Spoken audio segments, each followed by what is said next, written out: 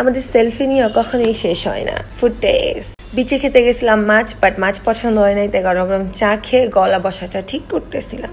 এই গাইস আসসালামু আলাইকুম দিস ইজ মি তাই চলে এলাম আমার পেজ থেকে নতুন একটা ব্লগ নিয়ে। আমরা এখন যাচ্ছি সুগন্ধা বিচে এখানে নেমে এই ঠান্ডা ঠান্ডা গুল্লা দেখলাম, যেটা খুলনায় কখনো ট্রাই করিনি বাট ভাবছি এখানে মনে হয় অনেক টেস্টি হবে বাট ছিঁড়ি কেউ খাবেন না জাস্ট কতগুলো বড় পোটের মধ্যে কিচ্ছু দেয় না। আর আমার তো খুবই বিচ্ছি লাগতেছিল সবাই আমাকে বকাও দিতেছিল যে আমি খুলনায় কখনো খাই না এখানে কেন টাকা দিয়ে নষ্ট করতে যাচ্ছি। সুগন্ধা ব্রিজে কিছুক্ষণ হাঁটাহাঁটি করলাম এবং আমি ভাবছি অনেক আহামরি খাবার পাবো ফিশ ফ্রাই ট্রাই অনেক কিছু অপশন দেন এইগুলা দেখলাম। কিন্তু অনেক ইচ্ছা করতেছিল বাট আমাদের সবারই বাজেট কম। যদি এইগুলো কিনে কিনে নষ্ট করি, যেহেতু দুশো, তিনশো, চারশো, ছয়শো, এমন করে চাইতেছিল, তাহলে আমাদের হাজার হাজার টাকাগুলো নষ্ট হয়ে যাবে।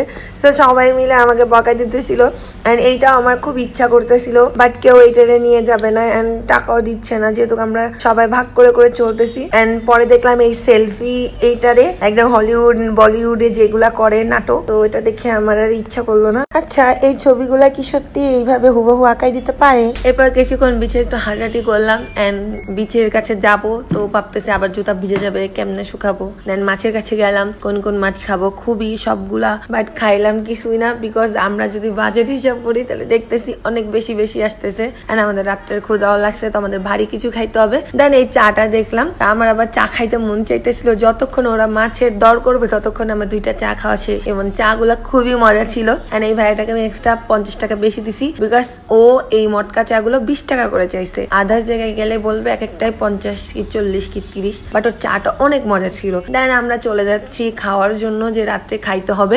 এই একটা রিক্সা নাদিম আর সাজিন কেমনে বসছে দুইটারই অর্ধেক বাইরে। আমরা পাঁচজন একটা রিক্সায় পরে বসছে কারে বলে আমাদের, দেখলে বোঝা যায়। এরা দুইটা আমাকে বেবির মতো কোলে নিছে। বলে অনেক মজা লাগতেছিল ভাই দাও কোথায় আরশিকে আমি কোলে দিব তাই না আরশি আমাকে উল্টা কোলে নিছে।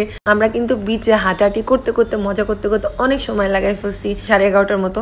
রাতের খাবার এখানে খাব ভোজন ভোজনবাড়ি রেস্টুরেন্টে আর এখানটা প্যাকেজে খাবার পাওয়া যায়, যেমন গোশ, মাছ, ডাল ভর্তা একটা প্যাকেজ এমন ওটা আলাদা মুরগি হইতে পারে, আলাদা গরু হইতে পারে। অ্যান্ড হচ্ছে আলাদা শুধুমাত্র ভর্তা, ডাল দিয়েছে আমরা এক একজন এক এক রকম করে নিছি। এবং আমার মধ্যে ছিল বেশি ভক্তা। আমি শুটকি ভর্তাটা খুব পছন্দ করি। খাওয়া দাওয়া শেষ করে হাঁটতে হাঁটতে হচ্ছে আমাদের হোটেল পর্যন্ত গেলাম বিকজ হজমের একটা ব্যাপার আছে। তো বেশি দূর না, হোটেলটা মোটামুটি কাছাকাছি। ওখান থেকে রিক্সা আসলে জনে দশ টাকা পড়তো। হোটেলের নিচে হাঁটতে হাঁটতে যখন পৌঁছাই, তখন একটা বেঁচে যায়। তো এখন উপরে উঠবো, আজকে ব্লগটা এই পর্যন্ত, টাটা। আল্লাহ হাফিজ। নতুন ব্লগের জন্য ওয়েট করেন। ভালো লাগলে লাইক কমেন্ট একটা শেয়ার দিন